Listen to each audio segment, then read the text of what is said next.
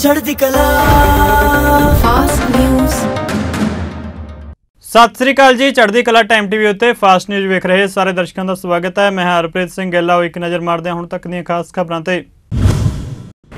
ਪੰਜਾਬ ਦੇ ਰਾਜਪਾਲ ਬਨਵਾਰੀ ਲਾਲ ਪੁਰੋਹਿਤ ਨੇ ਪੰਜਾਬ ਸਰਕਾਰ ਦੇ ਇਜਲਾਸ ਨੂੰ ਮਨਜ਼ੂਰੀ ਦੇ ਦਿੱਤੀ ਹੈ।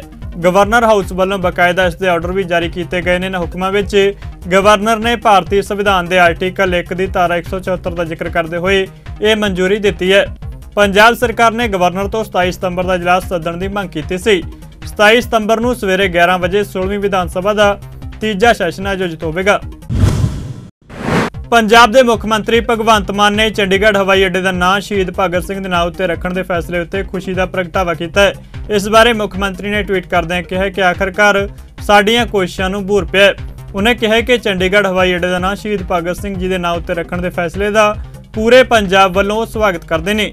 ਉਹਨਾਂ ਨੇ ਇਸ ਲਈ ਪ੍ਰਧਾਨ ਮੰਤਰੀ ਨਰਿੰਦਰ ਮੋਦੀ ਦਾ ਦਿਲੋਂ ਧੰਨਵਾਦ ਕੀਤਾ। ਮੁੱਖ ਮੰਤਰੀ ਮਾਨ ਨੇ ਕਿਹਾ ਕਿ ਪੰਜਾਬੀਆਂ ਦੀ ਪਿਛਲੇ ਲੰਮੇ ਸਮੇਂ ਤੋਂ ਵੱਡੀ ਮੰਗ ਪੂਰੀ ਹੋਈ ਹੈ।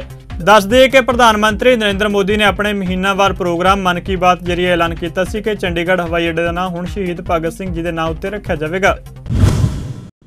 ਪੰਜਾਬ ਦੇ ਸਾਬਕਾ ਮੁੱਖ ਮੰਤਰੀ ਅਤੇ ਬੀਜੇਪੀ ਆਗੂ ਕੈਪਟਨ ਅਮਰਿੰਦਰ ਸਿੰਘ ਨੇ ਚੰਡੀਗੜ੍ਹ ਹਵਾਈ ਅੱਡੇ ਦਾ ਨਾਂ ਸ਼ਹੀਦ ਆਜਮ ਭਗਤ ਸਿੰਘ ਜੀ ਦੇ ਨਾਮ ਉੱਤੇ ਰੱਖਣ ਲਈ ਪ੍ਰਧਾਨ ਮੰਤਰੀ ਨਰਿੰਦਰ ਮੋਦੀ ਦਾ ਧੰਨਵਾਦ ਕੀਤਾ ਹੈ। ਇੱਕ ਬਿਆਨ ਵਿੱਚ ਕੈਪਟਨ ਅਮਰਿੰਦਰ ਸਿੰਘ ਨੇ ਕਿਹਾ ਕਿ ਇਹ ਉਹਨਾਂ ਦੀ ਸਰਕਾਰ ਸੀ, ਜਿਸ ਨੇ 2017 ਵਿੱਚ ਮੁੱਖ ਮੰਤਰੀ ਵਜੋਂ ਅਹੁਦਾ ਸੰਭਾਲਣ ਤੋਂ ਬਾਅਦ ਇਸ ਮਾਮਲੇ ਦੀ ਕੇਂਦਰ ਕੋਲ ਪੈਰਵਾਈ ਕੀਤੀ ਸੀ।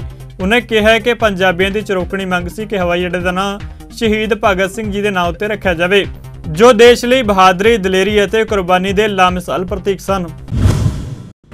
ਆਮ ਆਦਮੀ ਪਾਰਟੀ ਦੇ ਪ੍ਰਚਾਰ ਲਈ ਪੰਜਾਬ ਦੇ ਮੁੱਖ ਮੰਤਰੀ ਭਗਵੰਤ ਮਾਨ ਅਤੇ ਦਿੱਲੀ ਦੇ ਮੁੱਖ ਮੰਤਰੀ ਅਰਵਿੰਦ ਕੇਜਰੀਵਾਲ ਗੁਜਰਾਤ ਦੌਰੇ ਤੇ ਨੇ। ਅਹਮਦਾਬਾਦ ਵਿੱਚ ਆਯੋਜਿਤ ਟਾਊਨ ਹਾਲ ਪ੍ਰੋਗਰਾਮ ਵਿੱਚ ਗੁਜਰਾਤ ਦੇ ਨੌਜਵਾਨਾਂ ਨੂੰ ਸੰਬੋਧਨ ਕਰਦਿਆਂ ਮੁੱਖ ਮੰਤਰੀ ਭਗਵੰਤ ਮਾਨ ਨੇ ਆਪਣੇ ਅੰਦਾਜ਼ ਵਿੱਚ ਭਾਜਪਾ ਉੱਤੇ ਤਿੱਖਾ ਸ਼ਬਦੀ ਹਮਲਾ ਬੋਲਿਆ। ਮਾਨ ਨੇ ਕਿਹਾ ਕਿ ਭਾਜਪਾ ਜਿੱਥੇ ਚੋਣਾਂ ਤੋਂ ਸਰਕਾਰ ਨਹੀਂ ਬਣਾ ਸਕਦੀ, ਉੱਥੇ ਜਿਮਨੀ ਚੋਣਾਂ ਨਾਲ ਸਰਕਾਰ ਬਣਾ ਲੈਂਦੀ ਹੈ। ਉਹਨਾਂ ਕਿਹਾ ਕਿ ਭਾਜਪਾ ਵਿੱਚ ਹੰਕਾਰ ਆ ਗਿਆ। ਉਹਨਾਂ ਨੌਜਵਾਨ ਨੂੰ ਅਪੀਲ ਕੀਤੀ ਕਿ ਤੁਸੀਂ ਜਦੋਂ ਵੀ ਵੋਟ ਪਾਉਣ ਜਾਓਗੇ, ਸੋਚ ਲੈਣਾ ਕਿ ਉਹ ਬਟਨ ਤੁਹਾਡੇ ਅਤੇ ਤੁਹਾਡੇ ਪਰਿਵਾਰ ਦੀ ਤਰੱਕੀ ਦਾ ਬਟਨ ਹੈ। ਪੰਜਾਬ ਦੇ ਮੁੱਖ ਮੰਤਰੀ ਭਗਵੰਤ ਮਾਨ ਨੇ ਗੁਜਰਾਤ ਵਿੱਚ ਠੇਕਾ ਆਧਾਰਿਤ ਕਾਮਿਆਂ ਨੂੰ ਸੰਬੋਧਨ ਕੀਤਾ। ਇਸ ਦੌਰਾਨ ਉਹਨਾਂ ਨੇ ਪੰਜਾਬ ਸਰਕਾਰ ਵੱਲੋਂ ਕੱਚੇ ਮੁਲਾਜ਼ਮਾਂ ਨੂੰ ਪੱਕੇ ਕਰਨ ਅਤੇ ਹੋਰ ਕੰਮਾਂ ਬਾਰੇ ਦੱਸਿਆ।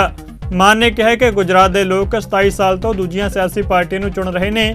ਉਹਨਾਂ ਕਿਹਾ ਕਿ ਉਹ ਆਮ ਆਦਮੀ ਪਾਰਟੀ ਨੂੰ ਵੀ ਇੱਕ ਮੌਕਾ ਦੇਣ।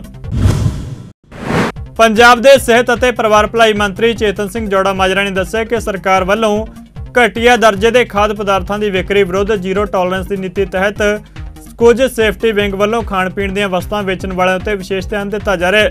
ਉਹਨਾਂ ਕਿਹਾ ਕਿ ਤਿਉਹਾਰਾਂ ਦੇ ਸੀਜ਼ਨ ਨੂੰ ਮੁੱਖ ਰੱਖਦੇ ਹੋਏ ਫੂਡ ਸੇਫਟੀ ਵਿਭਾਗ ਵੱਲੋਂ ਖਾਣ ਪੀਣ ਦਾ ਸਮਾਨ ਵੇਚਣ ਵਾਲੇ ਵਿਕਰੇਤਾਵਾਂ ਉੱਤੇ ਤਿੱਖੀ ਨਜ਼ਰ ਰੱਖੀ ਜਾ ਰਹੀ ਹੈ।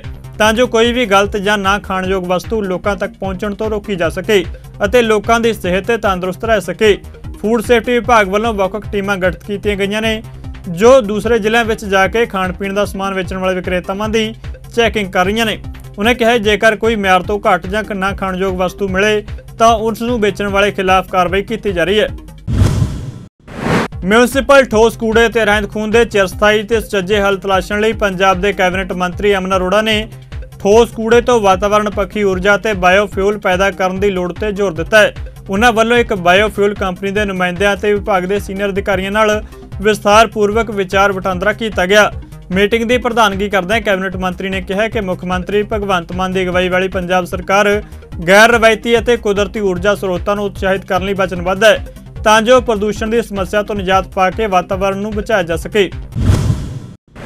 ਭਾਰਤ ਅਤੇ ਅਫਗਾਨਿਸਤਾਨ ਦੀਆਂ ਸਰਕਾਰਾਂ ਦੇ ਸਾਂਝੇ ਯਤਨਾਂ ਤਹਿਤ ਅਫਗਾਨਿਸਤਾਨ ਤੋਂ 55 ਸ਼ਰਨਾਰਥੀ ਸਿੱਖਾਂ ਅਤੇ ਹਿੰਦੂਆਂ ਦਾ ਆਖਰੀ ਜਥਾ ਨਵੀਂ ਦਿੱਲੀ ਪਹੁੰਚਿਆ। ਇਹਨਾਂ ਸਾਰੇ ਪਰਿਵਾਰਾਂ ਦਾ ਸਵਾਗਤ ਕਰਦਿਆਂ ਰਾਜ ਸਭਾ ਮੈਂਬਰ ਅਤੇ ਵਰਲਡ ਪੰਜਾਬੀ ਆਰਗੇਨਾਈਜੇਸ਼ਨ ਦੇ ਅੰਤਰਰਾਸ਼ਟਰੀ ਮੁਖੀ ਵਿਕਰਮਜੀਤ ਸਿੰਘ ਸਾਨੀ ਨੇ ਕਿਹਾ ਕਿ ਭਾਰਤ ਸਰਕਾਰ ਦੇ ਵਿਦੇਸ਼ ਮੰਤਰਾਲੇ ਨੇ ਉਹਨਾਂ ਨੂੰ ਜਲਦੀ ਈ ਵੀਜ਼ੇ ਦਿੱਤੇ ਅਤੇ ਦੋਹਾਂ ਸਰਕਾਰਾਂ ਨੇ ਉਹਨਾਂ ਨੂੰ ਭਾਰਤ ਪਹੁੰਚਣ ਵਿੱਚ ਮਦਦ ਕੀਤੀ ਹੈ।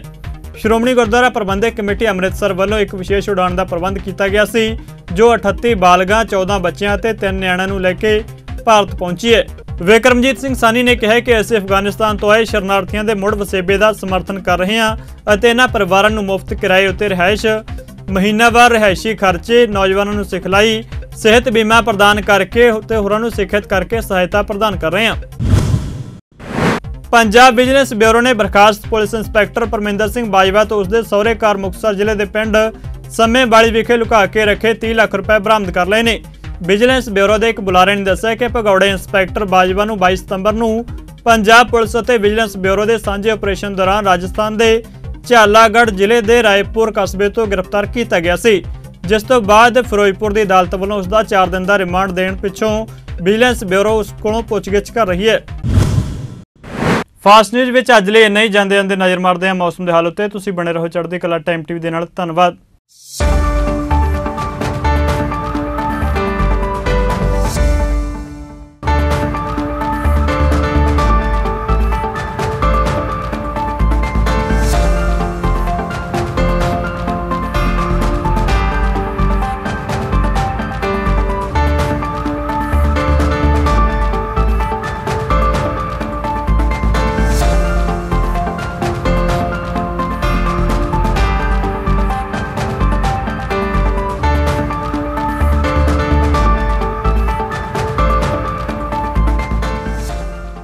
ਚੜ੍ਹਦੀ ਕਲਾ। Fast news